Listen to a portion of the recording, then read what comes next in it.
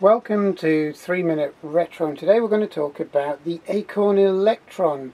And the Acorn Electron is a much derided machine and not because it's not any good but because of the delays that were behind the model's release and also its kind of slightly lackluster performance and that lackluster performance was down to a, want or a need to build a computer for under £200 to compete with the likes of the ZX Spectrum, the Oric Atmos, the Dragon 32 and a whole host of other micros that were out at the time. The Acorn Electron is basically a cut down BBC micro. It's partly compatible with it and Chris Curry wanted to produce a machine to compete with the aforementioned Spectrum which was its main threat. But sadly the Electron failed. It failed because of production problems related to the large ULA, uncommitted logic array, at the heart of the Electron. This chip took over many of the features and functions of the original BBC Micro. But the problem with that was that it slowed the machine down. And it slowed it down to almost 20 times slower in certain modes than a standard BBC Micro. Compared to the BBC though, this Acorn Electron was quite basic with only one expansion port at the back of the machine.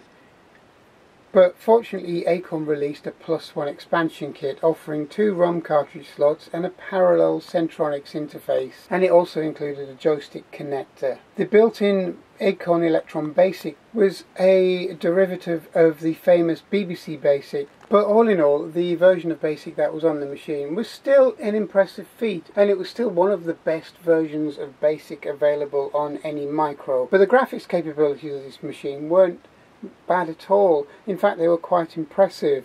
It had a text mode of up to 80 columns, a high resolution of 640 by 256 pixels, with two colours. The ULA was the chip that enabled the Electron to do these modes and handle the sound because the ULA itself handled the graphics, the video display and the I.O. communications on this machine. The mechanical keyboard was very very good. It was again it was kind of in the same mold as the brilliant BBC microcomputer keyboard. It was one of the nicest feeling keyboards of any micro. But despite being more powerful than the ZX Spectrum, the Acorn Electron didn't sell well. Although towards the end of its life it was consistently in the top end of the sales charts for microcomputers of the time. Now, this machine was a home computer by Acorn Computers.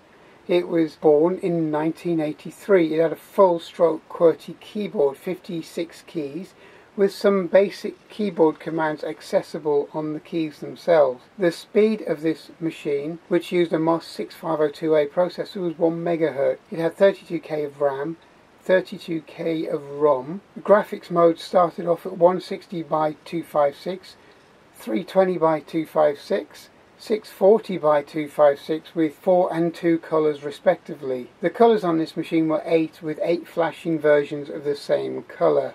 The sound was one channel plus one channel of white noise and it had a range of 7 octaves. The original price for this machine was £199 in 1983. And to my mind, this was one of the few machines that gave a lot of people who were used to the BBC Micro access to a almost identical in programming in basic and feel of an original BBC Micro that they used at school. It was the closest thing you could buy to be compatible with what you were using at school. But unfortunately, I think that was the image that slowed the sales of the Acorn Electron down and basically didn't make it a wannabe games machine because it was seen as more of a, a BBC Micro Junior at the time. Now this has been 3 Minute Retro, I hope you enjoyed this and I hope you'll subscribe. Thanks a lot and I'll see you soon. Thank you. Bye bye.